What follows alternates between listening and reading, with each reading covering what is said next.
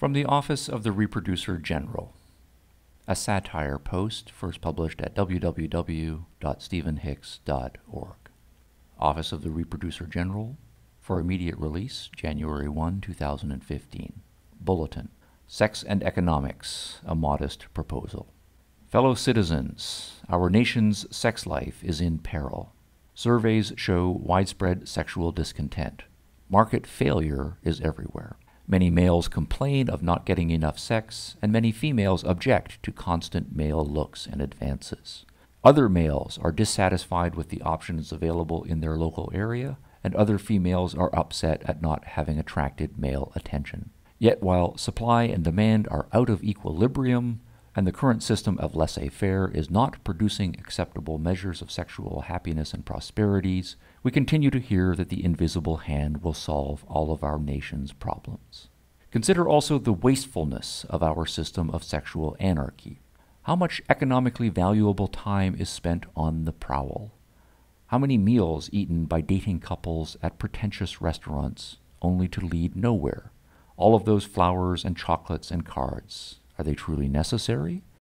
Much of the system seems designed to enrich the restaurant industry and the Hallmark Corporation at the expense of the rest of us. And consider the constant advertising of enticing but mostly useless and distasteful products and services. Further, many individuals do not know where to go to find partners or lack the initiative and resources to partake. Would a nudge in the right direction from expert leadership not be helpful to many? And sex is so unfair.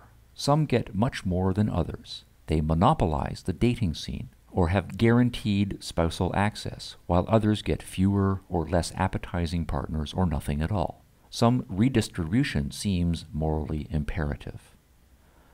And so messy, so many fights, such jealousy and envy and destructive competition, so much hostility, seething anger, passive aggressiveness, and hurt feelings. Externalities impose large costs on the rest of society. We hear a constant chorus of pain from our neighbors, our co-workers, our friends, and family members.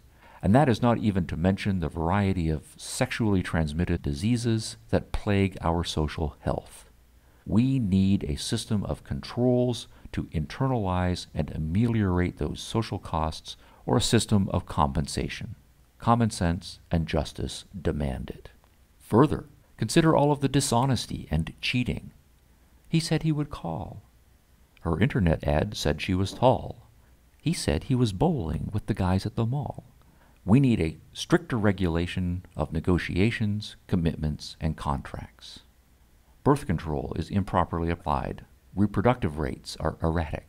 Sometimes our population is too large, and sometimes it is too small. How can we plan for the future when juniors coming into existence is often the result of Billy and Maggie's being drunk and closing down the bar on Saturday night? And how likely is Junior to receive the proper care he needs to develop into a useful citizen? We must also consider foreign policy.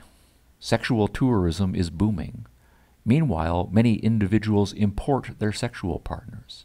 Yet while commerce with foreigners is flourishing, many potential domestic partners are forced into abstinence. The outsourcing of sexual satisfaction is a net social drain, and the importing of enticing sex agents causes unfair competition with local service providers. At a minimum, we should consider a system of import export restrictions, tariffs, and perhaps subsidies in the public interest. We call ours a system of freedom, but how can people be free when they are in the grip of sexual drives they cannot control or have not the wherewithal to satisfy in a healthy and socially harmonious manner?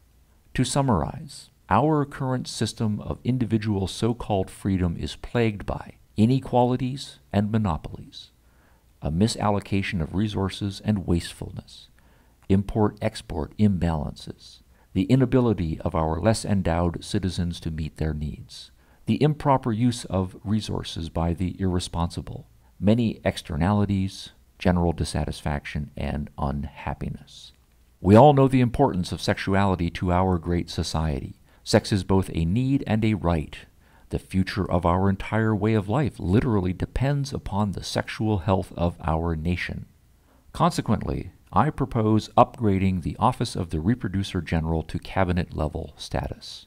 We need a system of expert guidance for our citizens in their sexual lives, help for those who cannot help themselves, an end to monopolies and sexual dog eat dog competition, a reallocation of reproductive resources in a socially just manner, a benevolent nudge for those whose sexual appetites are not aligned with the science of true sexual health and happiness. And do not neglect to vote for me again, I mean, in the referendum next election. This announcement is sponsored by the ORG. Please direct all inquiries to the Office of the Reproducer General, Assistant for Sexual Matters. Respectfully transcribed and submitted by Stephen Hicks, Recorder of the Office of the Reproducer General. www.stephenhicks.org.